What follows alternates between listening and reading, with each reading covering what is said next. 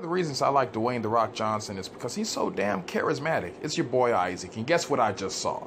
Jumanji 2 set footage, compliments of The Rock himself. Check it out. One love and deuces. We're at Jumanji right now. We're in the jungle, baby. Come on, that's Kevin Hart. Here we go. There's the crew. What's up, crew? There's the crew. We got Karen. There's Karen Gillan right there. We're in the jungle. And watch this. Here's a little surprise.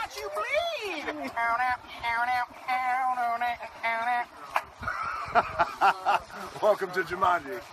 Oh snap! Guess what I saw? Oh snap! Guess what I saw? Oh snap! Guess what I saw?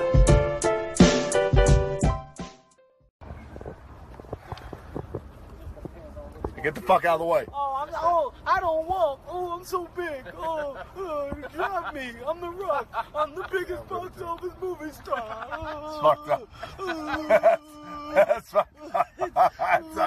That's enough. I don't walk. They're not supposed to go. The joke's not supposed to go on that long. How the Rock walks. Let's see. This is what I got to deal with on Jumanji.